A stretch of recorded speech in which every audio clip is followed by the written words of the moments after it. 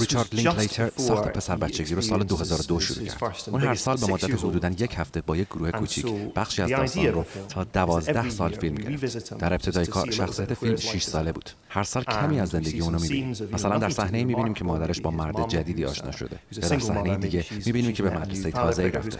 همینطور تا life. Maybe he's 12 starting سال. فیلمبرداری new کار سال something like that. 2013 For تمام 12 شده. All right, don't worry about it. We could use the bumpers. در طول فیلمبرداری being این کار به نوعی کار. فرعی لینکلیتر حساب می‌شد 12-year process, ولی حالا که کار now شده به نظر می‌رسه نقطه اوج کارنامه اون باشه.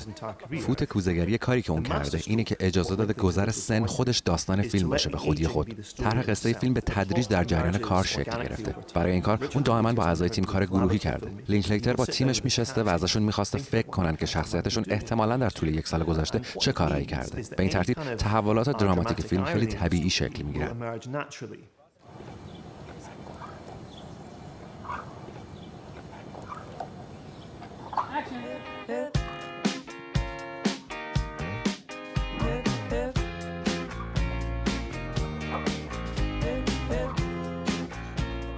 There's a scene in the film.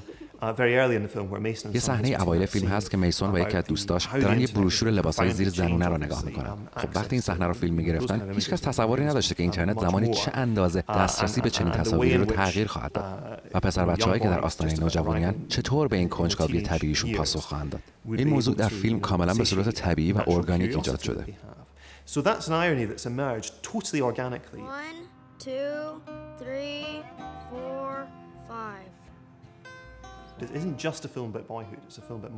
این فیلم فقط درباره پسر بچه بودن نیست درباره مادر بودن هم هست. همینطور پدر بودن.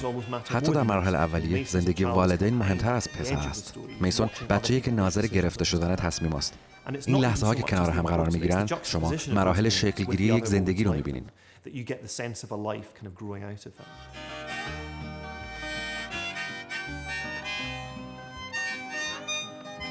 It's not just about the passage of time, it's about the loss of time.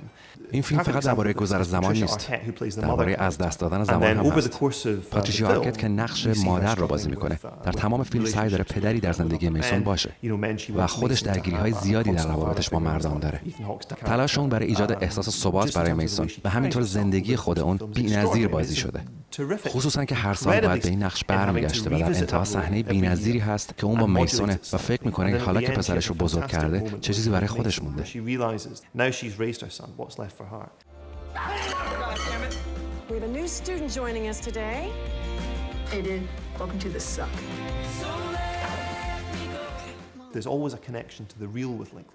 فیلم مکررا به لینکلیتر واقعی ربط داره برای همین پسر بچگی اینطوری به نقطه اوج کار اون تا امروز تبدیل میشه. چون فیلم کاملا به زندگی مردم عادی مربوطه.